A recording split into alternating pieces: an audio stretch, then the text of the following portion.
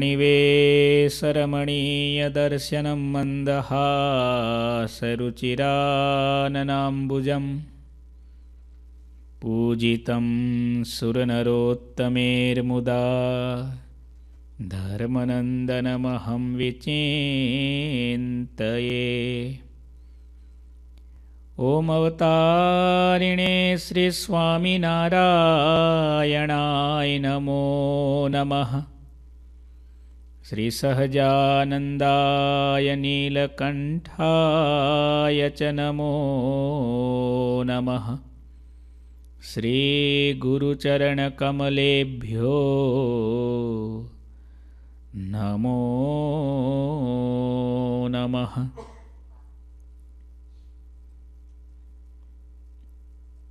બોલો શ્રી સ્વામિનારાયણ ભગવાનની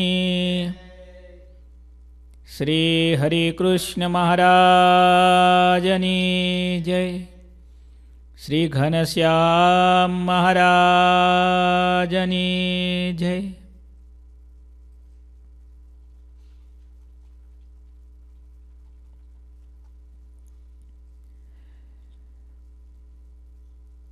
પૂર બીજું તરંગ નવમું ચાલુ છે નેમિસારણ્યની પવિત્ર ભૂમિમાં નીલકંઠ પ્રભુ પધાર્યા છે. યુગોથી જન્મોથી સાધના કરનારા સિદ્ધો અને સાધકોને પ્રભુએ દિવ્ય રૂપે દર્શન આપ્યા. ભગવાનને જોતાની સાથે બધા ઓળખી ગયા. પ્રાર્થના કરવા લાગ્યા, પ્રભુ, બસ. તમારા દર્શનની હૃદયમાં ઈચ્છા હતી. એના માટે જન્મોથી અમે સાધના કરતા હતા. આપના ચરણોમાં અમને રાખો. આના સિવાય બીજી કોઈ ઈચ્છા અમારા હૃદયમાં નથી. પછી બધા સિદ્ધો પ્રભુ માટે ફળ લાવ્યા છે. પાંચ પાંચ કેરી. આટલા બધા સિદ્ધો પાંચ પાંચ કેરી લાવ્યા. બધાની કેરી મહારાજ જમી ગયા ખૂબ સરસ પ્રસંગ ચાલે છે. સ્વામિનારાયણ હરે સ્વામિનારાયણ હરે. આ વાત સાંભળીને ઉત્તમ રાજાને આશ્ચર્ય થયું. તેમણે હાથ જોડ્યા અને મુક્ત મુનિને પૂછ્યું શ્રીહરિ તો મનુષ્યાકૃતિના રૂપમાં છે એટલે એક સાથે આટલી બધી કેરીઓ કઈ રીતે જમ્યા હશે? જેટલા સિદ્ધો હતા, એ બધા કેરી લઈને આવ્યા અને બધાની કેરી મહારાજ જમી ગયા. ભક્ત હૃદયના દાદા ખાચર એ મહારાજના ચરિત્રોના રસમાં એવા ડૂબેલા છે પણ એમને એક વાતની જિજ્ઞાસા થઈ. પ્રશ્નના મૂળમાં બે વસ્તુ છે. એક જિજ્ઞાસા છે અને એક સંશય છે. ઘણાને પ્રશ્ન થાય જાણવા માટે. અને ઘણાને પ્રશ્ન થાય કે મને તો લાગે છે આ ખોટું છે, આવું ન હોઈ શકે. જિજ્ઞાસાથી પૂછાયેલો પ્રશ્ન એ માણસને જ્ઞાન આપે છે. અને સંશયથી, તર્કથી પૂછાયેલો પ્રશ્ન એ માણસના જીવનમાં અભિમાન વધારે છે. એમ કહી શકાય, જિજ્ઞાસાથી પૂછાયેલા પ્રશ્નમાં હું કંઈક ઊણો છું, ઓછો છું. અને સંશયથી પૂછાયેલા પ્રશ્નમાં સામેનો વ્યક્તિ કંઈક ઓછો છે, કંઈક ઊણો છે, આવી ભાવના છુપાયેલી હોય છે. દાદા ખાચરને મનમાં થયું, ભગવાન તો મનુષ્ય રૂપે છે. આટલી બધી કેરી કેવી રીતે જમ્યા હશે? તબ મુનિ બોલે, હસી કે બેના યા બાત નહીં આશ્ચર્ય લેના જો જોગી સિદ્ધ ગતિ કુપાવે તાકો એસે કર નહીં આવે તબ મુનિ બોલે હસી કે બેના યા બાત નહીં આશ્ચર્ય લેના અરે ભક્તરાજ મુક્તાનંદ સ્વામીને હસવું આવ્યું એટલા માટે કે આ આશ્ચર્ય તો ભગવાન માટે બહુ નાનું છે, કંઈ નથી. આવું કોઈ એવું કોઈ ઐશ્વર્ય છે નહીં કે જે ભગવાનની મૂર્તિમાં શક્ય નથી. દરેક અસંભવ, જ્યાં સંભવ થાય એનું જ નામ ભગવાન. જેની એક એક લીલામાં આવું આપણાથી ન થાય, ભગવાન કરે છે. આવું મનુષ્યને અચરજ થાય. એટલા માટે તો નિષ્કુળાનંદ સ્વામી લખ્યું ને આ મૂર્તિ સૌથી ન્યારી અચરજકારી છે. આ મૂર્તિ સૌથી નોખી અચરજકારી છે. આ મૂર્તિ નહીં અન્ય જેવી અચરજકારી છે. હરિધરી ન ધરશે એવી અચરજકારી છે. આ મહારાજ અચરજકારી એટલે કે વન્ડરફુલ જગતમાં સાત આશ્ચર્ય કહેવાય છે, seven wonders of the world કહેવાય છે. ઘણા એના કરતાં પણ નવા વન્ડર્સ હવે દુનિયામાં તૈયાર થઈ રહ્યા છે. આ ભૂકંપ એક વન્ડર્સ જ છે એક પ્રકારનું. એવું ના કહેવાય દાદા? કોઈને ખબર હતી? કોઈને ખબર નહોતી? પણ એમ કહી શકાય, જેટલા ઐશ્વર્ય છે, જેટલા આશ્ચર્ય છે, આ બધાનું મૂળ જો કોઈ હોય ને, તો એક ભગવાન છે. યતો વાચો નિવર્તંતે અપ્રાપ્ય મનસા સહ બુદ્ધિ જેને વિચારી ન શકે વાણી જેને વર્ણવી ન શકે, એવું જો દુનિયામાં તત્વ હોય ને તો ભગવાન છે. એટલા માટે એ બુદ્ધિ દ્વારા, એટલા માટે એ વાણી દ્વારા, એટલા માટે શબ્દો દ્વારા ગમ્ય નથી. નાયમાત્મા પ્રવચનેન લભ્ય, ન મેધયા, ન બહુના શ્રુતેન. ઉપનિષદો એમ કહે છે, આ ભગવાન એવા છે, એ બુદ્ધિથી. એ પ્રવચન દ્વારા, એટલે કે વાણી દ્વારા કે પોતાની પ્રતિભા દ્વારા કે જ્ઞાનના ડાપણ દ્વારા એ પરમાત્મા પામી શકાતા નથી. યમે વેશ વૃણુતે જેના ઉપર એ મહારાજની કૃપા હોય, એ જે પરમાત્માને પહોંચી શકે, એને પામી શકે અને એને સમજી શકે. ચાલો તમને એક નાનો પ્રશ્ન પૂછું. સિંગદાણા તમે જોયા છે? સિંગદાણા? જમીનમાં દાણો નાખે, એમાંથી ઉગે, એમાંથી ક્યારે એનું કવચ બને, એની અંદર ક્યારે દાણો જાય, એની અંદર ક્યારે ભગવાન ઓઇલિંગ કરતા હશે. કોઈ જગ્યાએ તમને એમાં સાંધો લીધો હોય, ભગવાને પેકિંગ કર્યું હોય, મેન્યુફેક્ચરિંગ ક્યાંય દેખાય છે? એક એક, તમે ચારે બાજુ જ્યાં નજર નાખો આખી દુનિયામાં એક એક ખૂણામાં પરમાત્માનું ઐશ્વર્ય ભર્યું છે. તમે આ મોરના પીછા હોય એના કલર જોયા? એ ભગવાનની કલરની ડબ્બી પણ કેવી પરફેક્ટ હશે. એક સરખો કલર ક્યાંય આઘો પાછો જરાય દેખાય નહીં. એક પીછામાં કેટલા રંગ, છતાં બધા અપ ટુ ડેટ છે કે નહીં? ક્યાં ભગવાનનું ઐશ્વર્ય નથી? મુક્તાનંદ સ્વામી કહે છે, હે રાજન જે જોગી સિદ્ધ ગતિને પામ્યા હોય તેને પણ આવું કરતા આવડે. આ તમે જે પ્રશ્ન પૂછો છો ઐશ્વર્યનો, આવું ઐશ્વર્ય તો ભગવાનની કૃપાથી ભગવાનને પામેલા સિદ્ધો પણ આવું ઐશ્વર્ય બતાવી શકે. શ્રીહરિ તો સિદ્ધોમાં પણ મહાન સિદ્ધ છે. તેમની ગતિને તો આપણે કઈ રીતે સમજી શકીએ? શ્રીહરિમાં તો આવી અપાર શક્તિઓ, સિદ્ધિઓ સ્વતઃ રહી છે. ભલે તેઓ મનુષ્યના જેવા જણાતા હોય, છતાંય મનુષ્ય જેવા નથી. સિદ્ધ કે સિદ્ધ હરી હે ભારી. સિદ્ધ કે સિદ્ધ હરી હે ભારી. તાકે ગતિ કેસે આવહી ધારી.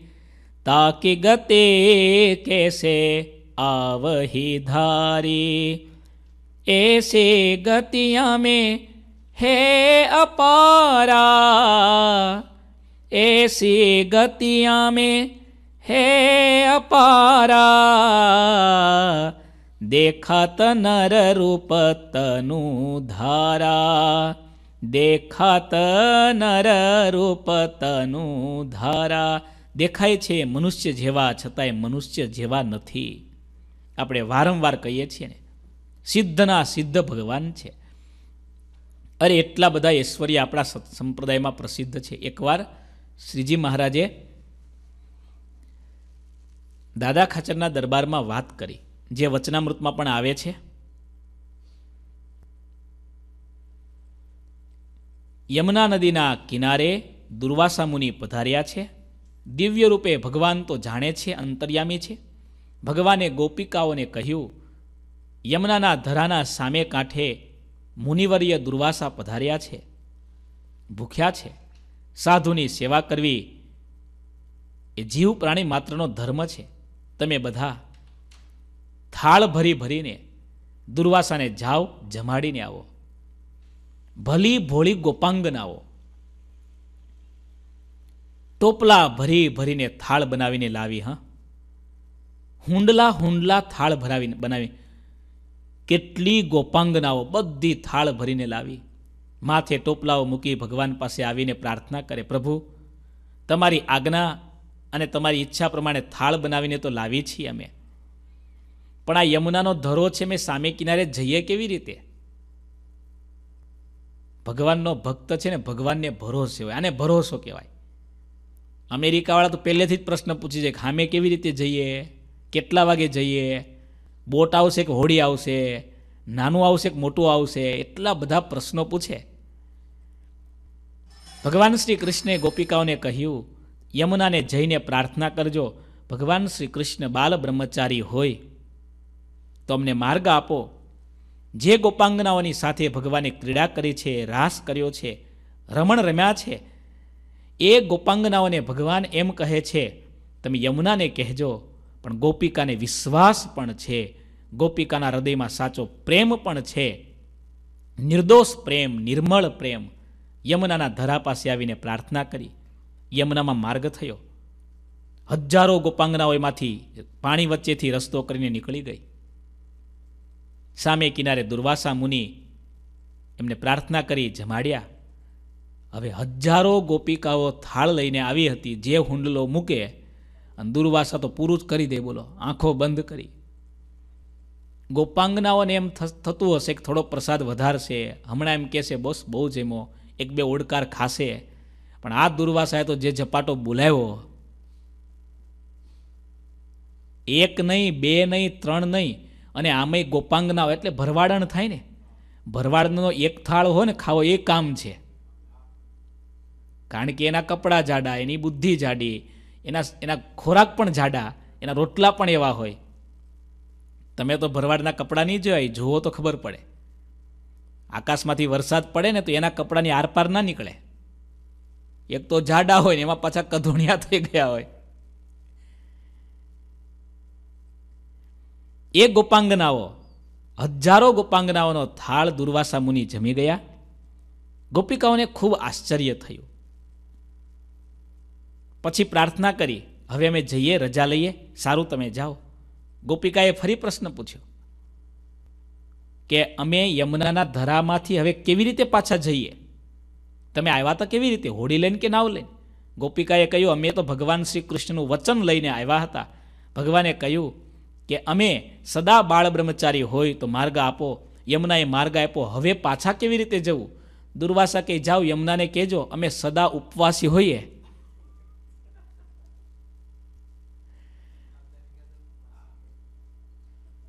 આંખ સામે આટલું બધું ખાધું હોય, ઘનશ્યામ કાકા અને આંખની સામે પાછો થોડું ખાધું હોય તો આપણે કહી શકીએ, ચાલો ઉપવાસી કહેવાય, બરાબર? યમુનાના ધરાને પ્રાર્થના કરજો, હે મૈયા યમુના, દુર્વાસા સદા ઉપવાસી હોય, ગોપાંગનાઓનો વિશ્વાસ પણ કેવો હશે? એની શ્રદ્ધા પણ કેવી હશે?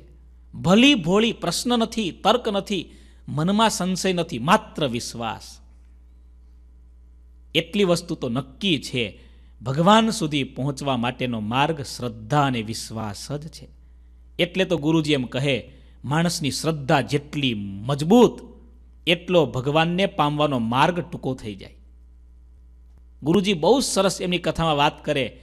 તમે સાંભળી હશે, પેલા બે સાધકો હતા, પ્રદક્ષિણા કરે એક ઝાડને, પ્રદક્ષિણા કરતાં કરતાં ઘૂંટણ સુધી ખાડા પડી ગયેલા એટલી પ્રદક્ષિણા એમણે કરેલી, કેટલી પ્રદક્ષિણા કરી હશે વિચારો. ચાલી ચાલી, અખંડ જપ, અખંડ પ્રદક્ષિણા, અખંડ સેવા. એમાં નારદજી નીકળ્યા, પ્રાર્થના કરી, ક્યાં જાઓ છો વૈકુંઠમાં? ભગવાનને પૂછી લેજો ને મારા વતી, ક્યારે દર્શન આપશો? નારદજીએ પ્રશ્ન પૂછ્યો, ભગવાને કહ્યું, બંનેને કહેજો, જે ઝાડ નીચે ભજન કરો છો, એ ઝાડને એક એક પાંદમાં એક એક હજાર વર્ષ પૂરા થાય ત્યાર પછી દર્શન આપીશ. નારદજી તો ડરી ગયા. ભગવાનનો સંદેશ તો આપવો જ રહ્યો. ડરતા ડરતા નારદજીએ સંદેશ આપ્યો. એકની શ્રદ્ધા તૂટી ગઈ. માળા નાખી. આપણું તો સો વર્ષનું આયુષ. એમાં એક એક પાંદડે હજાર હજાર વર્ષ કેટલા જન્મ. ત્યાર પછીના દર્શન એના કરતાં જવા દો. આ નથી કરવું માળા નાખીને ચાલતા જ થઈ ગયા. નારાયણ નારાયણ, નારદજી કરી આંખો બંધ કરે. બીજા ભગત તો નાચવા લાગ્યા. અરે કંઈ નહીં, નક્કી તો થઈ ગયું. કે આજે નહીં તો હજાર જન્મે, કરોડ જન્મે પણ ભગવાન દર્શન આપવાના નાચવા લાગે, ત્યાં તો ભગવાન પ્રગટ. ભગવાનના દર્શન કરી ભક્તને એટલો બધો આનંદ થયો, નારદજીને દુઃખ થયું. કે તમે આટલું બધું ખોટું બોલો? હમણાં મને કહો છો કે આટલા સમય પછી દર્શન આપીશ, એક તો બિચારો માળા નાખીને જતો રહ્યો. તમે મને આવું કહો છો? અને અત્યારે અત્યારે દર્શન આપ્યા?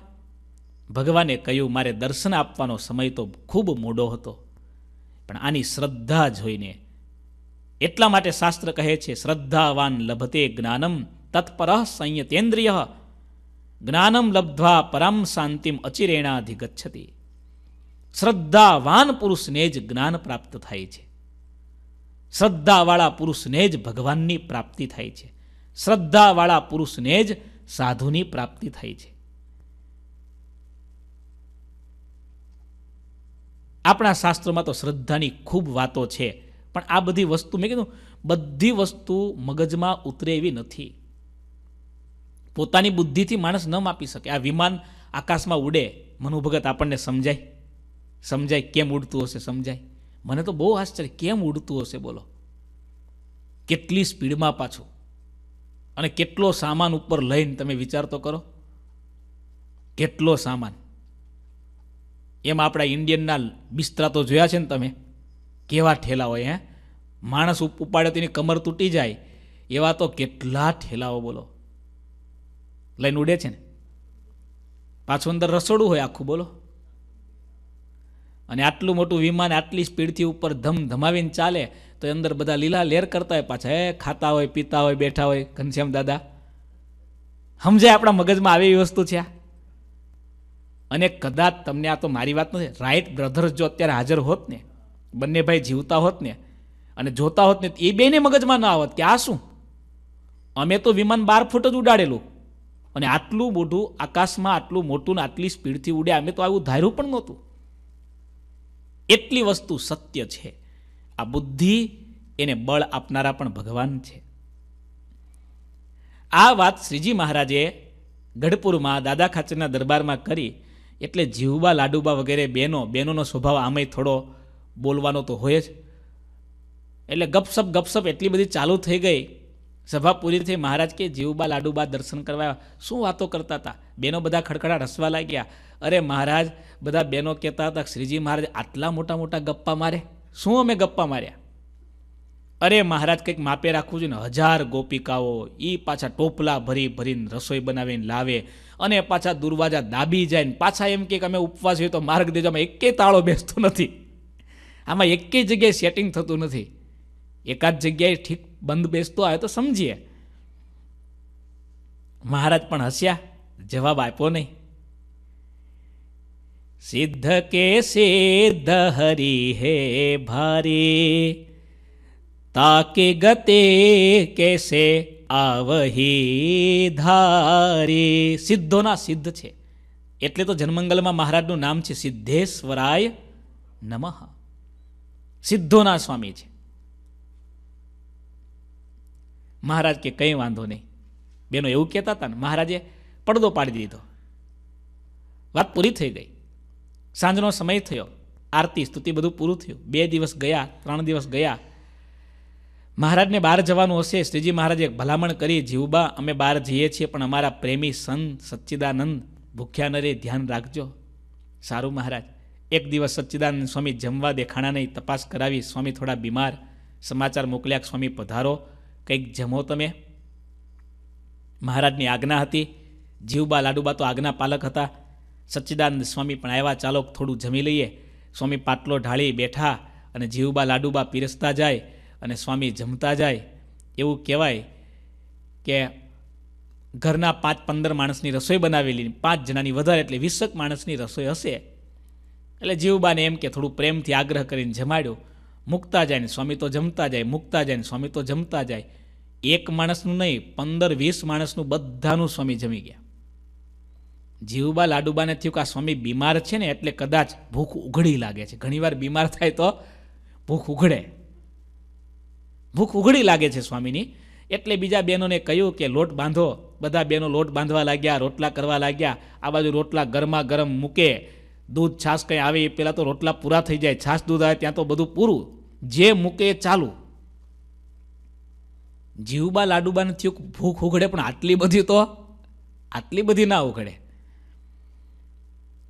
રસોઈ કરતાં કરતાં એવું કહેવાય કે ઘરમાં લોટ ખૂટી ગયો, બીજા બહેનોને આદેશ કર્યો કે જાઓ તમે ઘંટી, પેલા ઘંટલામાં દળવાનું ને ત્યારે તો આજના જેવા મશીનો હતા નહીં.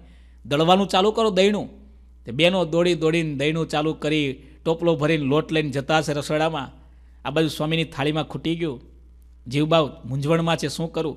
ટોપલો લોટલો લઈને નીકળ્યા. સ્વામી કે શું છે? લોટ છે. અરે, લાવો ને રોટલા કરવા કરતાં લોટ જ આપી દો સીધો. લોટ જમવા લાગ્યા. લોટે કેટલો દળે? એ ખૂટે ને? તે કોઠારમાંથી હુંડલા ભરી ભરી નીકળ્યા હશે. જુવાર બાજરો, સ્વામી કે, શું છે? જુવાર ને બાજરો છે? સ્વામી કે, લાવો એ જ. એવું કહેવાય, સચ્ચિદાનંદ સ્વામી એટલું બધું જેમાં, એટલું બધું જેમાં. જમવાનું તો પૂરું થઈ ગયું, લોટ તો પૂરો થઈ ગયો, પણ કોઠાર ખાલી થઈ ગયા. આખા વર્ષનું એક દિવસમાં હવે જીવુબાને હવે જીવુબાને ભૂખ ઉગડી કે આ સ્વામી જો બધું પતાવી દેશે તો વરસ કેમ પૂરું થશે? મહારાજને કરગરીને પ્રાર્થના કરવા લાગ્યા, હે મહારાજ, આ તમારી કંઈક લીલા લાગે છે. મહારાજે દિવ્ય રૂપે સચ્ચિદાનંદ સ્વામીને સંકેત કર્યો. સ્વામીએ પેટ ઉપર હાથ ફેરવ્યો અને સ્વામીએ ઓડકાર ખાધો અને સ્વામી થોડું પાણી પીધું અને સ્વામી એમ બોલ્યા, આ તો તમારી ઈચ્છા હતી એટલે મેં થોડું જેમાં તો હવે અમે આરામ કરવા જઈએ છીએ. વિચાર, હવે થોડું જમે તોય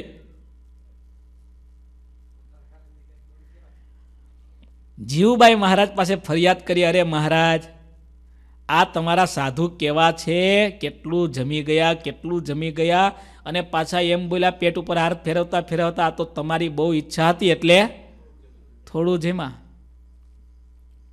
મહારાજ હસવા લાગ્યા, જીવબા કે મહારાજ, કેમ આટલું બધું હસો છો? અરે, અમે પેલા દુર્વાસાની વાત કરી, તમે માનતા નહોતા. તો આ શું છે? અમારા એક સાધુ કેવા છે? જીવબાને ખબર પડી ગઈ, મારો પ્રશ્ન હતો, મારા મનની મૂંઝવણ હતી, મારા મનનો સંશય હતો. એનો જવાબ શ્રીજી મહારાજે આપી દીધો. ભગવાન તો સિદ્ધના પણ સિદ્ધ છે, સિદ્ધ પણ ભગવાનની ઈચ્છાથી આવું કરી શકે. શિવ બ્રહ્મા અરે અક્ષર પર્યંત કોઈ પણ શ્રીહરિની ગતિને કે શક્તિને માપી શકતા નથી. શરીરના બીજભૂત જે વીર્ય દેખાય છે તેમાં કોઈ જાતનો આકાર દેખાતો નથી. છતાં જ્યારે તે વીર્યના બિંદુને સ્ત્રીના રજસનો યોગ થાય છે, ત્યારે તેમાંથી ભિન્ન ભિન્ન પ્રકારના શરીરનું નિર્માણ થાય છે. એક બિંદુમાંથી એક અથવા બે શરીર બંધાય છે. તેમાં એક કણના કેટલા કણ થાય છે તે કોઈ જાણી શકતું નથી. વચનામૃતમાં મહારાજ એમ કહે, પાણીના એક બુંદમાંથી મનુષ્યની સૃષ્ટિ થાય છે. આશ્ચર્ય તો કહેવાય ને. ભગવાનની લીલા એવી અપાર અને અકળ છે ને, એને કોઈ કળી શકે એમ નહીં, હા? કોઈ કળી શકે? એક એક મેં કીધું ને, ચારે બાજુ તમે નજર નાખો. અહીંયા અમેરિકામાં છે ને, અમે ફ્લોરિડા ગયા, સાંજે આમ બહાર નીકળે, પેલા આજ્ઞા. અંગ્રેજીમાં બેક લાઇટ કે શું કે ને લાઇટ બર્ડ બરાબર? હવે આજ્ઞા બેઠેલા આમ એવા સરસ મજાના ચમકે, એવા સરસ, આપણી એલઈડી શું કામ લાગે એની આગળ, બોલો. આપણી એલઈડીમાં તો વાયરિંગ કરવું પડે સ્વિચ પાડવી પડે, ત્યાર પછી લાઇટ થાય. તો ઓટોમેટિક ઘનશ્યામ દાદા, જોયું તમે? આપણને એમ થાય કે આ આજ્ઞાની અંદર ભગવાને લાઇટ ક્યાંથી મૂકી હશે? એનું વાયરિંગ કેવી રીતે કર્યું હશે? સોલર સિસ્ટમ મૂકી હશે? સોલર પાવર મૂક્યો હશે? કયો પાવર મૂક્યો હશે ભગવાને? ભગવાનની લીલા અકળ છે. આ જે કંઈ ઐશ્વર્ય દેખાય છે એટલા માટે તો મહારાજ એમ કહે છે, આ બધું ભગવાનનું જ કરેલું છે. પણ આપણી મોટામાં મોટી ભૂલ એ છે. આપણી મોટામાં મોટી ભૂલ એ છે. આપણને મનુષ્યના કરેલા મકાનો દેખાય છે. આપણને મનુષ્યના કરેલા વિમાનો દેખાય છે. પણ એ ભગવાને જે બુદ્ધિ આપી છે, જે બુદ્ધિ દ્વારા કર્યું છે, એ બુદ્ધિ દેખાતી નથી. એને આપનારા ભગવાન દેખાતા નથી. આ સૂર્ય ને ચંદ્ર કવિદુલા કાગની ઘણી બધી પ્રાર્થનાઓ, એવી સરસ પ્રાર્થનાઓ છે. આભના થાંભલા રોજ ઊભા રહે, વાયુનો વીંજણો રોજ હાલે. ઉદયને અસ્તના દોરડા ઉપરે નટ બની રોજ રવિ રાજ મહાલે. કવિએ કલ્પના કેવી સરસ કરી. આપણું આ મંદિર ઊભું છે. થાંભલા દેખાય તમે ચારે બાજુ જો દેખાય છે કે નહીં? ઘણીવાર થાંભલા ના હોય તો દિવાલ દેખાય. દેખાય કે નહીં? કવિ કલ્પના, આભના થાંભલા રોજ ઊભા રહે. આ ભગવાને આટલું મોટું આકાશ કયા સિક્રેટ પિલર્સ ઉપર ઊભું કર્યું ખબર નથી પડતી. દેખાય જ ક્યાંય પિલર ઘનશ્યામ કાકા, વિમાન લઈને છેક ઇન્ડિયા સુધી જઈ આવો જો પિલર મળે તો. અને જો પિલર મળે તો આતંકવાદી ત્યાં જ બોમ્બ મૂકી દે. એમને તો મારવા જ છે બધાને. કે અમેરિકાનું આખું આકાશ નીચે પડી જાય તો સારું આટલું મોટું આકાશ, અવકાશ, એમાં પાછા તારામંડળ, નક્ષત્ર મંડળ સોલર સિસ્ટમ ગેલેક્સીઓ આખી અધર આકાશમાં જુઓ. પણ આપણી કલ્પનાથી બહારની વસ્તુ, આપણી કલ્પનાથી દૂરની વસ્તુ એટલે આપણને બહુ બુદ્ધિમાં વસ્તુ નથી સમજાતી. આભના થાંભલા રોજ ઊભા રહે, વાયુનો વીંજણો રોજ હાલે. આપણે આ મંદિરમાં એર કન્ડિશન ચલાવીએ ને, તો એ બિલ આવે એનું, હા. હીટિંગ ચલાવીએ ને, તો એ બિલ આવે. અને આ ભગવાન દરરોજ હીટિંગને એર કન્ડિશન ચાલુ ને ચાલુ જ છે, તમે જુઓ. ઇન્ડિયામાં હમણાં બરાબરનું હીટર ચાલુ કર્યું છે. એવું હીટર ચાલુ કર્યું છે, કોઈનું બિલ ના આવે પણ લોકોને પરસેવો કાઢી નાખે, બોલો. તો અહીંયા હમણાં સુધી એર કન્ડિશન બરાબર ચાલતું હતું ને અમેરિકામાં. ન્યૂજર્સીમાં તો ભૂક્કા બોલાવી દીધા. આ વર્ષે તો એટલું એસી ચલાવ્યું ભગવાને, પણ બિલ આવ્યું નહીં કોઈ ઉપર, આવ્યું. વાયુનો વીંજણો રોજ હાલે, ઉદયને અસ્તના દોરડા ઉપરે. કલ્પના છે કવિની કે આ સૂર્ય દરરોજ તમે જો એક સરખી દિશામાં પૂર્વથી પશ્ચિમ, પશ્ચિમથી પૂર્વ, ઉત્તરથી દક્ષિણ, દક્ષિણથી ઉત્તર. એક જ સરખી ગતિમાં ચાલે. જાણે કે ભગવાને બે પિલર બનાવ્યા હશે. એ પિલર ઉપર દોરડા બાંધ્યા હશે. ઉદય અને અસ્તના દોરડા ઉપર એ સૂર્ય નટ બનીને પેલો નટ જેમ એક સરખો ચાલે ને. આઘું પાછું જોયા વિના ઉદયને અસ્તના દોરડા ઉપરે નટ બની રોજ રવિ રાજ ભાગતી ભાગતી, પડી જતી પડી જતી. આપણે શું કહીએ? રાત પડી. શું બોલીએ? ગુજરાતીમાં શું બોલીએ? રોજ બધા કે રાત પડી રાત પડી રાત પડી. અને સવાર થાય એટલે બધા શું બોલે? રાત ગઈ. એવું કે નહીં? રાત ગઈ. એ ભાગે છે એ દરરોજ પડે છે. ભાગતી ભાગતી, પડી જતી પડી જતી. રાત નવ સૂર્યને હાથ આવે. કવિએ કલ્પના કરી. જાણે કે પેલી છોકરાઓ રમત રમતા હોય, એક ભાગતો હોય બીજોને પકડવા જતો હોય. સૂર્ય રાતને પકડવા માટે દોડે છે. સૂર્ય દોડે છે ને આગળ રાત ભાગે છે, રાત પડી, તોય સૂર્યના હાથ નથી આવતી. રાગ ભાગી જાય છે. ભાગતી ભાગતી, પડી જતી પડી જતી. રાત નવ સૂર્યને હાથ આવે. કર્મવાદી બધા કર્મ કરતા રહે. એમને ઊંઘવું કેમ ફાવે? કવિનો અર્થ એટલો જ છે. સુંદર, બહુ સરસ એણે કવિતા લખી છે કે આ ભગવાનની લીલા એવી અપાર છે, આમાં મનુષ્યનું કંઈ ચાલે એવું નથી. આપણે તો કઠપૂતળી છીએ. આપણે તેના હાથનું રમકડું છીએ. શ્યામ તારી બંસી થઈને બજવું છે મારે, સૂર ક્યાં કેવા છેડવા એ જોવાનું તારે. શ્યામ તારી બંસી થઈને બજવું છે. આપણે તેનું રમકડું છીએ ખાલી, ઇન્સ્ટ્રુમેન્ટ છીએ. એને જેટલી ચાવી ભરી હશે ને એટલું ચાલશે. એની ચાવી બંધ થઈ જાય તો ચાલતું બંધ થઈ જશે. હે દાદા આપણે જમીએ છીએ એ પચાવવાની શક્તિ પણ કોણ આપે છે? ભગવાન આપે છે. બાકી મને ખબર છે, આ દેશમાં તો એવું ઓછું સાંભળવા મળે, અમે ઇન્ડિયા હોઈએ ને, તો ઘણી વાર સંતો હરિભક્તો કહેતા સ્વામી, હમણાં તકલીફ એવી થઈ છે ને, એક રોટલી પચતી નથી. બોલો. બે મણ ફૂલેલી ફાંદમાં બે રોટલી પચતી નથી. કોઈ કવિએ લખ્યું છે ને? અને બે ભણેલી બાયડી ઘરમાં રોટલી વણતી નથી. આધુનિક કવિએ કોઈ કવિતા લખી છે. જગતનું સત્ય આવું જ છે. પણ ભગવાનની લીલા એવી છે ને. મેં કીધું ને બધી એની લીલા છે. પચે છે, એ પણ એની લીલા છે. નથી પચતું, એ પણ એની લીલા છે. જીવનમાં એટલું જ યાદ રાખવા જેવું છે. આપણું ધાર્યું થાય છે, તો એની કૃપા છે. અને આપણું ધાર્યું નથી થતું તો એની ઈચ્છા છે. માલિક એક જ છે, બાકી તો બધી એની મિલકત છે, બધી. આપણો ક્યાં અધિકાર? કયો અધિકાર? શેનો અધિકાર? પણ અહંકાર એટલો ખતરનાક છે, એટલો ખતરનાક. માણસે અહંકારને લીધે એટલું બધું મમત્વ બાંધ્યું છે. મમત્વને જન્મ આપનાર, મોહને જન્મ આપનાર, માનને જન્મ, બધાનું મૂળ અહમ છે, અહમ. હું અને મારું. જન્મેલા બાળકને કપડાં પહેરવાનું ભાન ન હોય, પણ એ જ બાળક મોટો થાય, કેટલા કપડાં લાવે, ખબર છે ને? કેટલા લાવે, બોલો. અને એ જ પાછો સમય પૂરો થાય ત્યારે બધા કપડાં એવા ને એવા મૂકીને પાછો જતોય રહે. એટલા માટે. મુક્તાનંદ સ્વામી દાદા ખાચરને કહે છે, હે રાજન કેટલીક બાબત લક્ષ્ય હોય છે અને કેટલીક બાબત અલક્ષ્ય હોય છે. ભગવાનની ઘણી લીલા એવી છે, લક્ષ્ય એટલે સમજી શકાય એવી હોય છે. પણ ઘણી લીલા એવી હોય છે અલક્ષ્ય, સમજી જ ન શકાય. આપણી બુદ્ધિ ત્યાં પૂછી પહોંચી જ ન શકે. આપણે તર્ક પણ ન કરી શકીએ. આપણે સંશય પણ ન કરી શકીએ. હવે આકાશમાં આટલો મોટો સૂર્ય કેવી રીતે ભગવાને સેટ કર્યો હશે? વિજ્ઞાન ભલે ગમે તે આઘું પાછું કર્યા કરે એના કાયદા ગ્રેવિટી ફોર્સ બધા ફોર્સ લગાડ્યા કરે, પણ એ ગ્રેવિટી ફોર્સ કર્યો કોણે? કોણે કર્યો? બરાબર? અબ્દુલ કલામની બહુ સરસ પેલી એક અંગ્રેજીમાં વાર્તા બહુ પ્રસિદ્ધ છે. કલામ સાહેબે કોઈ પ્રવચનમાં વાત કરેલી એણે બધી ભગવાનની ઉપર વાત કરી. એટલે કોઈ તર્કશીલ માણસે તરત તર્ક કર્યો કે તમે ભગવાન ભગવાન કહો છો. આમાં શું ભગવાન છે? આ તો ગ્રેવિટી ફોર્સને લીધે ચાલે છે. આ આખી સોલર સિસ્ટમ આપણી ગ્રેવિટી ફોર્સને લીધે ચાલે છે. ત્યારે અબ્દુલ કલામે એક જ વાક્યમાં જવાબ આપ્યો એ ગ્રેવિટી ફોર્સ તારા અંકલે કર્યો છે. કોણે કર્યો છે? એને મૂકનાર કોણ છે? આફ્રિકામાં અમે ગયા છીએ, જોયું છે.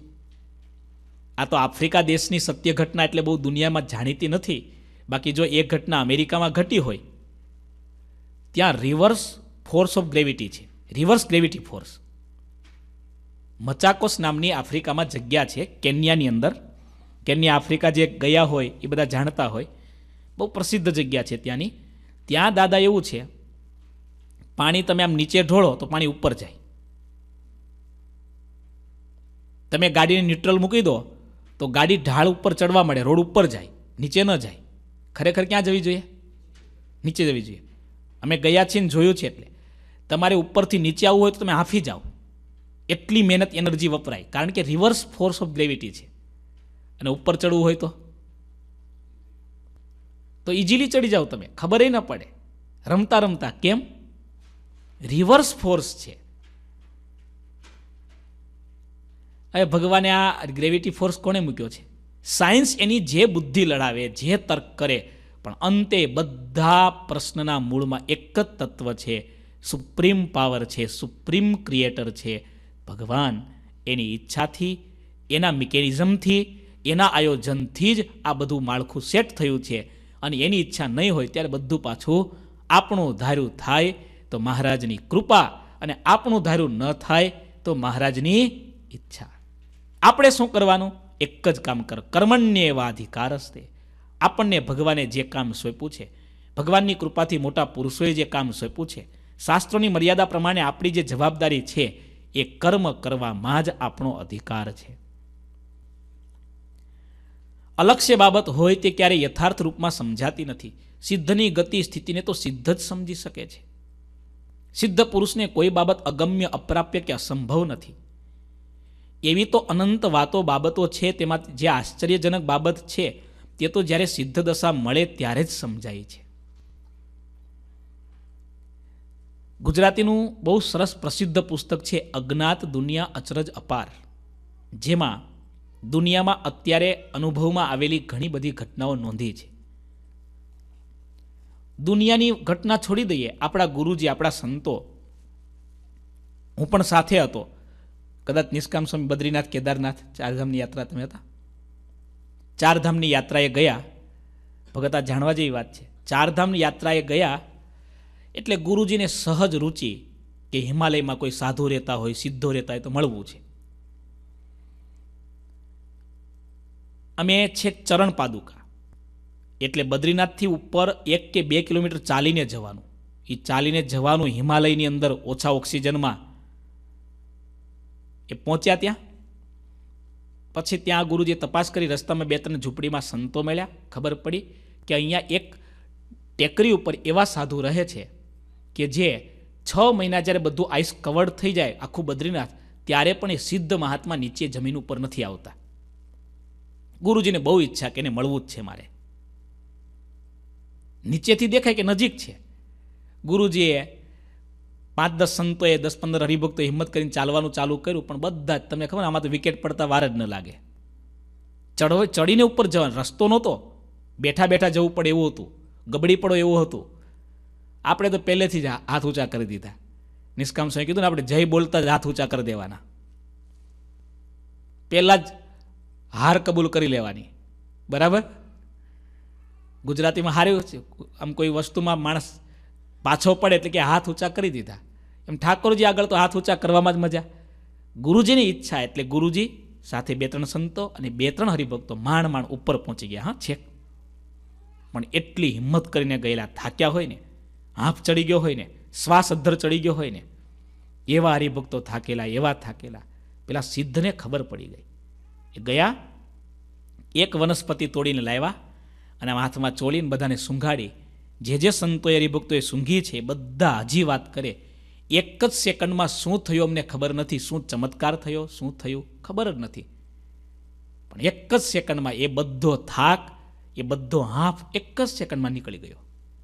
અમે એ સિદ્ધને પૂછ્યું કે આ કઈ ઔષધિ છે? એણે કહ્યું કે અહીંયા એવી એવી ઔષધિ છે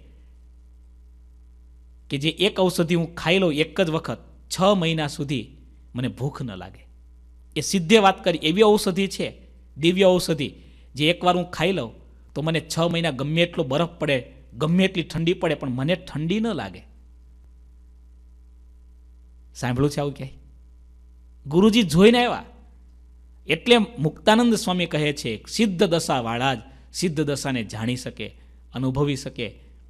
પામર હોય, પતિત હોય, તુચ્છ જીવ હોય, એને અનુભવી ન શકે, જાણી ન શકે. ભગવાનની લીલા તો સિદ્ધોના સ્વામી, સિદ્ધોના ઈશ્વર છે. કેવી રીતે પ્રભુને કોઈ પહોંચી શકે? દુર્વાસા, અગસ્ત્ય અને સુખદેવજી, તેઓ જ્યારે સિદ્ધ દશાને પામ્યા, ત્યારે કોઈના તર્કમાં પણ ન આવે તેવી વિસ્મયજનક વાત સમજમાં આવી. દુર્વાસાની વાત તો આપણે હમણાં જ સાંભળી. કેટલા થાળ જમી ગયા અને પાછા તોય ઉપવાસી રહ્યા.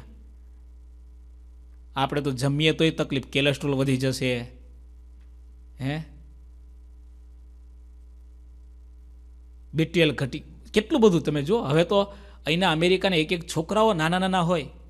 ડૉક્ટર થતા હોય, ફાર્મસી, ડૉક્ટરને ફાર્મસીની તો બહુ કરુણા આપણને દયા આવે. એ આપણને જમતા જોઈને એને પરસેવો છૂટે. આટલું બધું ના ખવાય સ્વામી, ગળ્યું સુગર વધી જશે. એટલે ભાઈ સુગરની ઉંમર જ નથી હજી તો. સિદ્ધોના સ્વામી છે, દુર્વાસા જમી ગયા. અગસ્ત્ય ઋષિની કથા આપણે જાણીએ છીએ. આખો સમુદ્ર, જેમ આપણે આચમન કરીએ ને, એમ આખે આખો દરિયો આચમન કરીને મોઢામાં પી ગયા, બોલો. એ મગજમાં આવે ખરી આ વાત? કોઈને ઉતરે ખરી? આજના કોઈ વૈજ્ઞાનિકને તમે કહેવા જાઓ કે અમારા દેશમાં કેવા ઋષિ થયા છે કે આખે આખો દરિયો પી ગયા. કોઈ મગજમાં કોઈ માને ખરા? ગપ્પુય માને ખરા આવું? ન ઉતરે. આ સિદ્ધોની વાત છે.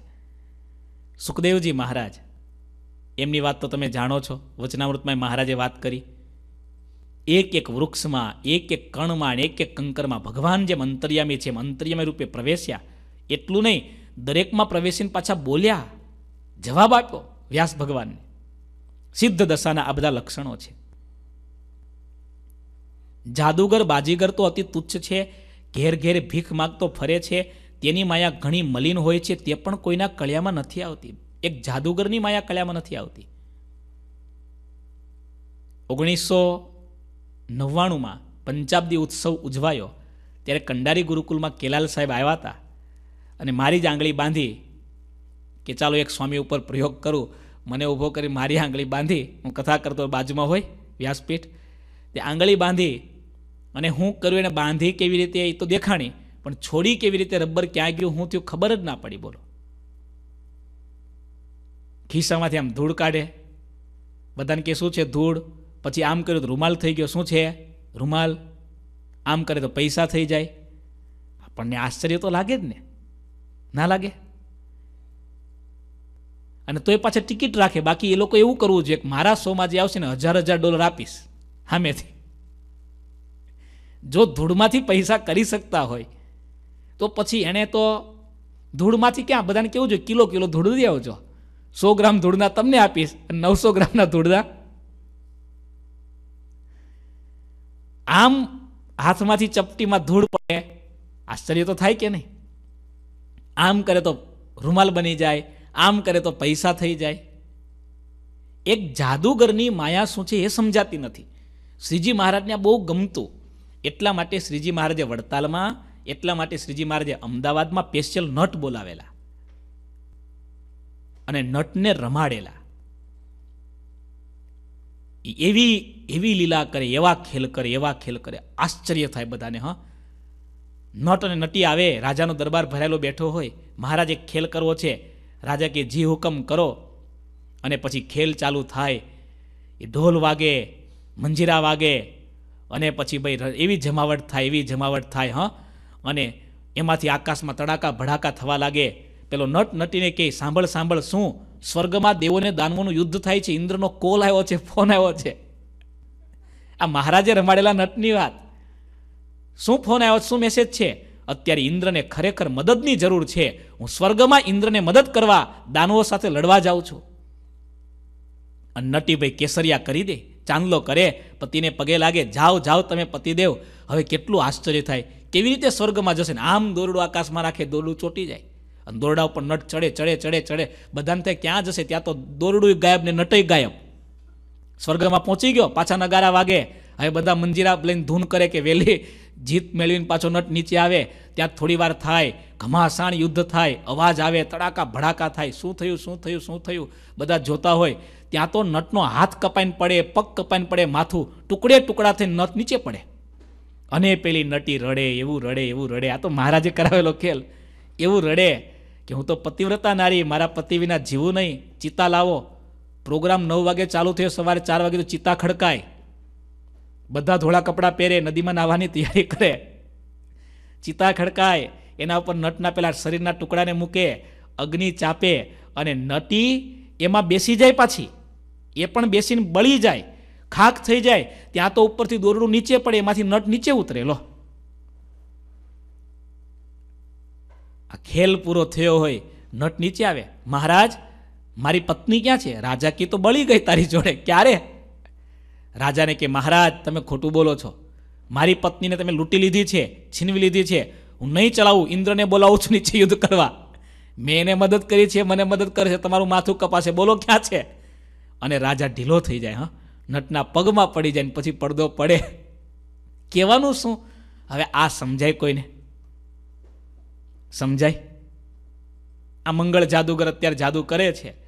આમ ઓડિયન્સમાં બધા બેઠા હોય ને કોઈનો છોકરો હોય આમ કરે ત્યાં છોકરો ખોળામાં સીધો સ્ટેજ પર આવી જાય. જોયું છે સમજાય કોઈને? આશ્ચર્ય તો છે, પણ મહારાજ એમ કહે છે, મુક્તાનંદ સ્વામી એમ કહે છે, એ તો ઘરે ઘરે ભીખ માગે છે. એની તો વિદ્યા મલિન છે. છતાં લોકોને સમજાય નહીં એવી વિદ્યા છે તો જે વિદ્યાના સ્વામી છે, બુદ્ધિને આપનારા છે. તેની માયા ઘણી જ મલિન છે, તે પણ કોઈના કળિયામાં નથી આવતી. જ્યારે શ્રીહરિ તો સહુના અંતર્યામી છે, સિદ્ધોને મધ્ય પણ સર્વશ્રેષ્ઠ સિદ્ધ છે, માયાના પણ સ્વામી છે, કોઈ બ્રહ્માદિકના જેવા હોય છતાં કોઈ તેમની ગતિ સ્થિતિને પામી શકતા નથી. સિદ્ધ કે સિદ્ધ, માયા કે સ્વામી શ્રી હરિ સબ કે અંતરયામી. સિદ્ધ કે સિદ્ધ માયા કે સ્વામી શ્રી હરિ સબ કે અંતરયામી. આ વાતનો સાર એટલો જ છે. ભગવાન અને ભગવાન જેવા મોટા પુરુષને બુદ્ધિથી ક્યારેય માપો નહીં. એમાં વિશ્વાસ રાખો. એકવાર પરીક્ષા કરવી કરી લો, બે વાર કરવી તો કરી લો. પણ પરીક્ષા કર્યા પછી એકવાર તો તમારે વિશ્વાસ જ મૂકવો પડશે. એકવાર તો તમારે શ્રદ્ધા જ રાખવી પડશે. ધમડકા નામનું ગામ છે. એ ધમડકા ગામમાં રાયધણજી નામના બહુ સારા મહારાજના સમયના ભક્ત થયા. એણે સાંભળ્યું કે સ્વામિનારાયણ ભગવાન છે. ઘણી બધી એમની લીલાઓ આપણા શાસ્ત્રોમાં લખી છે. રાયધણજી દરબાર એણે સાંભળ્યું કે સ્વામિનારાયણ ભગવાન છે. પણ આ રાયધણજી છે ને એટલા બધા બળિયા હતા. એના શરીરમાં એટલું બધું બળ હતું. ભગવાને દરેકને જુદી જુદી વસ્તુ આપી હોય, તમે જાણો છો, બરાબર? આને બળ એવું શરીરમાં મૂકેલું. ઘનશ્યામ દાદા આપણા શાસ્ત્રોમાં એવું લખ્યું કે નાળિયેર લે, બગલમાં મૂકે અને આમ દબાવે ફોડી નાખે. આખું નાળિયેર છોતા સાથે છોતરા કાઢી નાખે, બોલો. પછી એક પૂરું થયું એટલે બે નાળિયેર મૂકે. પછી એક બાજુની બે બાજુ બગલમાં બબ્બે નાળિયેર મૂકે. કેટલા થયા? ચાર નાળિયેર. વન ટુ ને થ્રી થાય એટલે કચડઘાણ. આવો ખેલ કરતા. અને ગામના માણસો જોવા આવતા. હવે કેટલું કેટલું બળ હશે એનામાં? તોય પાછા અટક્યા નહીં. કારણ કે શરીરમાં એટલી બધી એનર્જી હોય તો યુટિલાઇઝ તો કરવી પડે ગમે ત્યાં. પછી કોણીમાં મૂકે આમ. કોણીમાં આપણી તાકાત હોય કંઈ? બગલમાં તો તાકાત સમજ્યા, માની શકાય. કોણી વચ્ચે બે નાળિયેર મૂકે અને આમ દબાવે કોણીથી ફોડી નાખે. પછી સાથળ વચ્ચે બે મૂકે, એને ફોડી નાખે. પછી ઘૂંટણ વચ્ચે બે મૂકે, એને ફોડી નાખે. પછી આખું ગામ ભેગું થઈને આઠ નાળિયેર રાખે, હા. બંને બગલમાં બબ્બે, બે સાથળ વચ્ચે અને બે ઘૂંટણ વચ્ચે. આઠ નાળિયેર હોય અને બધા ભેગા થાય ને એક બે ને ત્રણ બોલે ને એક ઝાટકે આઠે આઠ ભૂક્કે ભૂક્કા કરી નાખે. આવી તાકાત એના શરીરમાં. એણે સાંભળ્યું સ્વામિનારાયણ ભગવાન છે. ચાલો ભાઈ જઈએ, કેવા ભગવાન છે જોઈએ. સભા પૂરી થઈ. મહારાજે ખૂબ સરસ જ્ઞાનની વાતો કરી. હવે આમને તો જ્ઞાનની સાથે કંઈ લેવા દેવા હતું નહીં. એણે તો જોવું તું ભગવાન કેવા છે ને શું કરી શકે છે. સભા પૂરી થઈ. એટલે સભાપતિ પછી મહારાજ પાસે આવીને મહારાજને શું કે ખબર? મહારાજ, એક વાત પૂછું? મહારાજ કે, પૂછો. મહારાજ, આ મારો અંગૂઠો આ મેં પકડ્યો છે, સીધો રાખ્યો છે, તમે વાળી દો ખાલી, બસ તો ભગવાન માનું. શું કીધું? મારા હાથના અંગૂઠાને તમે ખાલી વાળી દો, તો હવે કેવો બળિયો માણસ હશે? શ્રીજી મહારાજ મનમાં મનમાં હશે. આવો પ્રશ્ન અમને કોઈ પૂછ્યો નથી હજી સુધીમાં.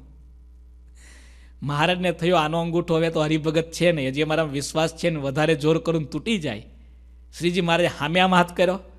મહારાજ કે, રાયધણજી, તમારો હાથ કોમળ છે. હવે આ તો પઠ્ઠા જેવા હતા, હા. અને શ્રીજી મહારાજ કેવા દેખાય? હાવ નાનકડા, એકદમ કોમળ. પેલી કમળની દાંડી હોય ને, એટલું નાજુક, એટલું મૃદુલ મહારાજનું તો શરીર હતું. મહારાજ કે, તમારો હાથ વાળતા અંગૂઠો તૂટી જાય, એના કરતાં અમે અંગૂઠો ધર્યો, તમે વાળી દો, લો. દરબાર કે, મહારાજ રહેવા દો. મહારાજ કે જોવું હોય તો કરી જુઓ એકવાર. દરબારને એમ થયું, ચાલો જોઈ લઈએ, ભગવાન છે કે નહીં ખરેખર? નહીં હોય તો આખો અંગૂઠો બહાર કાઢી નાખીશ. એને તો એવું જ હોય ને મનમાં. અભિમાન તો હોય ને થોડું. આ બોક્સિંગમાં જાય, રેસલિંગ કરવા જાય, એ કંઈ જેવા તેવા હોય? સવારથી ખાઈ ખપૂચીને બરાબર, હે? મસલ્સ જ જમાવ્યા હોય. એ પછી કેવા પડતા હોય તમે જોયું છે ને? કેવા પડે, કેવા આથડે કેવા આથડે? એને જોઈને આપણને પેટમાં પાણી હલવા મળે, પણ એને કંઈ થાય નહીં. આમ અંગૂઠો મહારાજે કર્યો ને પછી તો રાયધણજી એવું જોર માર્યું, એવું જોર માર્યું, એવું જોર માર્યું. પહેલાં ધીરે ધીરે કરતા હતા બટકી ન જાય, છૂટી ન જાય. પછી તો ઊભા થઈ ગયા આખે આખા, પછી તો બે હાથે બરાબર દમ, બે હાથ લગાવ્યા. પછી તો આખે આખા પગ ઊંચા કરીને અંગૂઠા ઉપર ચડી ગયા તો એ અંગૂઠો હલ્યો પણ નહીં.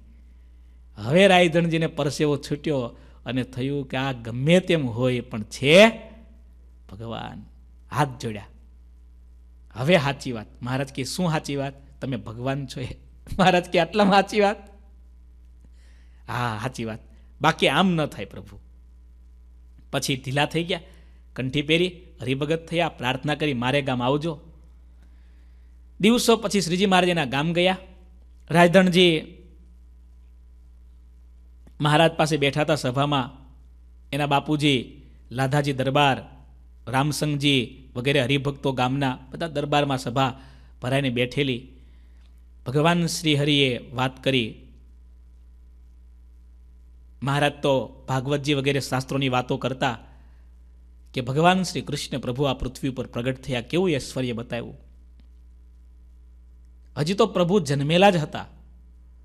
અને બાલ્ય અવસ્થામાં કંસની મોકલેલી પૂતના જેવી મહારાક્ષસી એના પ્રાણ પ્રભુએ ચૂસી લીધા. મહારાજે આ વાત કરી એટલે રાયધણજીના બા સભામાં બેઠેલા, એના મનમાં તર્ક થયો કે એક દિવસનું હજી તાજું જન્મેલું પાંચ છ દિવસનું બાળક અને કોઈ સ્ત્રી, એમાં રાક્ષસી સ્ત્રી, એમાં કેટલી તાકાત હોય, એના પ્રાણ ચૂસી લે? આમ ધાવણ ધાવે એના શરીરના એક એક પ્રાણ એનો શ્વાસ ચૂસાઈ જાય, એની એક એક બોતેર હજાર નાડીઓ ચૂસાઈ જાય, એનું લોહી ચૂસ, આવું કંઈ હોય? માને તો નહીં ને. મનમાં આ જ પ્રશ્ન થયા કરે. સભાપતિ મહારાજે કહ્યું કે અમારે ઘી પીવું છે. થોડું ગરમ કરી ઊનું કરીને ઘી લાવો તાંહાળીમાં. એટલે મોટી તાંસળી ભરી ગરમ કરેલું ઘી મહારાજને આપ્યું. એ બાએ શ્રીજી મહારાજ ઘી પીતા જાય. સ્ત્રી ભક્તો આસપાસ ઉભેલા એમાં કરણીબા બહુ સારા હરિભક્ત. એના મનમાં એમ થાય કે ચાલો આજે મહારાજનું પીધેલું ઘી પ્રસાદીનું અમને મળશે. અને ઘીનો સ્વભાવ આવો છે કે ગમે એટલું ઘીને તમે પીવો, ચૂસો, તો પણ થોડું તો અંદર વધે વધે ને વધે જ. એટલે કરણીબા વગેરે રાજી થયા કે આજે ઘીની પ્રસાદી મળશે. પણ શ્રીજી મહારાજ તમ તાંસળીમાં ઘી પીતા જાય પીતા જાય પીતા જાય પીતા જાય. અને બધા દર્શન કરે છે. ઘી પીતા પીતા મહારાજે ઘી પી લીધું આમ, સટાક દઈને તાંસળી નાખી. સીધી એ બા હતા રાયધણજીને એના ખોળામાં. એને એમ કે કપડાં બગડશે, ઘીવાળી તાંહળી પડી. આમ ઊભા થઈ ગયા હાથમાં લીધી. તો આશ્ચર્ય ચિકાસ નહીં શ્રીજી મહારાજે તાંસળીમાંથી ઘી એવી રીતે પીધું, એવી રીતે પીધું, એવી રીતે પીધું. ચિકાસ જ ન દેખાય.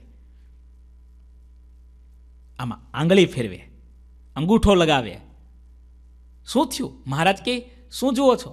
અરે મહારાજ, આ તો દેશી ઘી. તાંસળીમાં ભર્યું હોય ને ગરમ કર્યું હોય ને, અઠવાડિયા સુધીમાં ચિકાસ દેખાય. આ શું થયું? આમ નાકે ડાળી સૂંઘ્યું. તો સૂંઘે તો ગંધ પણ નહીં, ઘીની. દેશી ઘી તો કેટલું સુગંધ હોય ને, હાથમાં લગાવ્યા પછી એ સાબુથી ધોવો, પાવડરથી ધોવો, તો પણ એ હાથમાંથી સુગંધ ન નીકળે. એની ઘીની ખબર છે ને તમને? આપણા સંતો અહીંયા ઘી ગાળે ને, ગરમ કરીને, પછી બરાબર ગરણાથી પેલું કાઢ્યું હોય ઘી, એ હાથમાંથી ઘીની એકાદ દિવસ સુગંધ ન નીકળે, ઘીમાં ની સુગંધ હથેળીમાં આવતી હોય. આમાં સુગંધ નથી, મહારાજ, ચિકાસ નથી, આ કેવું તમે ઘી પીધું? ત્યારે મહારાજ હસતા હસતા એમ બોલ્યા, તમે ક્યારના વિચારતા હતા ને? કે પૂતનાના પ્રાણ પ્રભુએ કેવી રીતે ચૂસ્યા હતા? અમે આ ઘી જેમ ચૂસ્યું ને? ભગવાન શું ન કરી શકે? કરતુમ અકર્તુમ અન્યથા કરતુમ સમર્થ. કરતુમ અકર્તુમ અને અન્યથા કરતુમ. આ ત્રણેય પ્રકારની શક્તિ, ત્રણેય પ્રકારનું સામર્થ્ય ભગવાનમાં સહજ રહ્યું છે. આ ભગવાનનું મોટું ઐશ્વર્ય છે. ખૂબ સરસ મુક્તાનંદ સ્વામી મહારાજનો મહિમા કહે છે. સ્વામી એમ કહે છે, આસુરીને તો તે ચરિત્ર ક્યારેય રૂચતા નથી. તે તો આશ્ચર્યકારી વાતને ઉલટી સમજે છે. દેવી જીવોનો મોક્ષ કરવા માટે જ હું આ શ્રીહરિના ચરિત્રનો ગ્રંથ લખું છું. આટલા આટલા ભગવાન ઐશ્વર્ય બતાવે, છતાં આસુરી માણસ એને એ ઐશ્વર્ય કામ લાગતા નથી. ભક્ત ચિંતામણીમાં સ્વામીએ વાત લખી છે પરચા વિભાગમાં. પેલો વાણિયો હતો, શોભારામ એનું નામ આખા ગામમાં કહેતો ફરે સ્વામિનારાયણ સાચા હોય, એનો સત્સંગ સાચો હોય, એ ભગવાન સાચા હોય. તો આઠ દિવસમાં મારી બે આંખ ફૂટે, બોલો.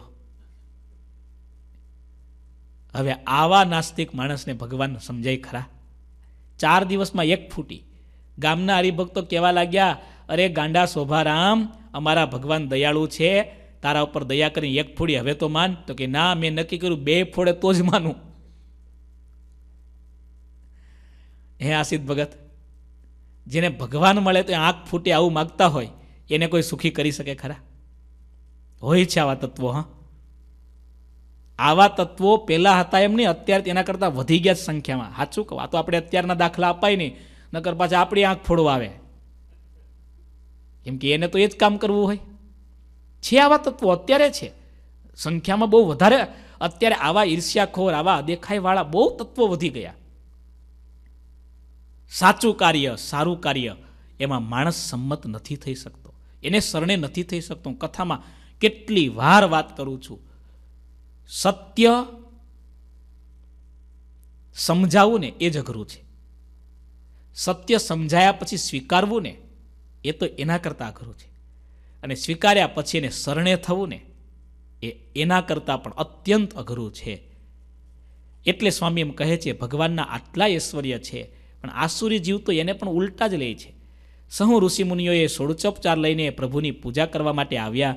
મનમાં અતિશય ઉમંગ લાવીને કેસરયુક્ત ચંદન શ્રીહરિની મૂર્તિને ચર્ચ્યું. ઘણા જ હેતથી શ્રીહરિને ફૂલોના બાજુબંધ અને હાર પહેરાવ્યા. મસ્તક ઉપર ફૂલોની ટોપી અને તોરા પણ પ્રેમથી ધરાવ્યા, ધૂપ અને દીપ પ્રગટાવ્યા. પછી સૌએ આરતી કરી, નખથી શિખા પર્યંતની મૂર્તિ હૃદયમાં ધારી લીધી. આપના અનંત અવતારો થયા છે, પણ આ સમયમાં તો આપે સર્વોપરી અવતાર ધારણ કર્યો છે. સર્વે અવતારના અવતારી આપનો જય થાવો જય થાવો આવી રીતે પ્રાર્થના કરવા લાગ્યા. એ નેમિસારણીના ઋષિઓ ભગવાનને પ્રાર્થના કરતા કરતા કહે છે, શ્રી નરનારાયણ દેવ આપના દર્શનને હંમેશા ચાહે છે. મહારાજનું સર્વોપરીપણું, જુઓ, કથા સાંભળનારા ભક્તો સાંભળજો. આ શાસ્ત્રમાં લખેલી વાત વાંચું છું. શ્રી નરનારાયણ દેવ આપના દર્શનને હંમેશા ચાહે છે. તે આપ અમને અહીંયા જ મળી ગયા, તે ખરેખર આશ્ચર્ય વાત, આશ્ચર્યકારી વાત છે. આપના અપાર મહિમાનું ગાન, કથન નરનારાયણ દેવ કરે છે અને તેઓ કહે છે કે અમે જે સર્વોપરી શ્રેષ્ઠનું ધ્યાન કરીએ છીએ, તેઓ હાલમાં પ્રગટ થયા છે. કોણ આમ વાત કરે છે? નરનારાયણ દેવ. કયા નરનારાયણ દેવ? બદ્રિકાશ્રમના અધિપતિ છે એ. ભારતખંડના રાજા છે તે. કયા નરનારાયણ દેવ? જેને ભગવાન શ્રીહરિએ બાથમાં લઈ અને અમદાવાદ અને ભુજ મંદિરમાં પધરાવ્યા છે તે. ભૂમિ ઉપરના ભારને ટાળવાને માટે શ્રીહરિ અત્યારે પ્રગટ થયા છે. અવતારો તો અનંત થયા છે, પણ અત્યાર સુધી આ શ્રીહરિના સમાન કોઈ અવતાર થયો નથી. અમારા ઉપર તેમને હેત છે, એટલે તેઓ સહુ પહેલાં અહીંયા આવશે. મનુષ્ય દેહ ધારીને અત્યારે વર્ણી વેશે, દર્શન આપી રહ્યા છે. આમ ભગવાન નરનારાયણ વાતો કરે છે. આ સિદ્ધ સંતો સિદ્ધ છે, એટલે દિવ્ય રૂપે આ વાતને સાંભળી શકે છે, જાણી શકે છે. બદ્રિકાશ્રમમાં દિવ્ય રૂપે જાય છે. ભગવાન નરનારાયણ શું કહેતા હતા? અમે જેનું ધ્યાન કરીએ છીએ, અમે જેની ઉપાસના કરીએ છીએ, એવા સર્વોપરી ભગવાન અત્યારે પૃથ્વી ઉપર પ્રગટ થયા છે. એ ભગવાન વિચરણ કરતાં કરતાં આ બદ્રિકાશ્રમમાં આવશે, અમને એમના દર્શન થશે, આવી વાતોએ સિદ્ધો કરી. અને મહારાજને કહ્યું, મહારાજ, તમારા દર્શન નરનારાયણ દેવ ચાહે છે. એ પ્રભુ, સામે ચાલીને અમને કૃતાર્થ કરવા આવી રીતે સામે ચાલીને પધારે, અમને મળે. પ્રભુ, આ તો કેટલું મોટું આશ્ચર્ય. આ કેટલી મોટી કરુણા. તમારી પ્રભુ અનહદ કૃપા છે આ તો. પ્રભુ, તમે અમારા ઉપર અઢળક કૃપા કરી, આવી રીતે સિદ્ધોએ ભગવાનની પૂજા કરી અને ભગવાનને પ્રાર્થના કરી. ઇતિ શ્રી સહજાનંદ સ્વામી શિષ્ય સિદ્ધાનંદ મુનિ વિરચિત શ્રી હરિચરિત્રામૃત સાગરના દ્વિતીય પૂરમાં નૈમિષારણ્યમાં મુનિઓએ શ્રીહરિની પૂજા કરી એ નામે નવમો તરંગ સમાપ્ત થયો.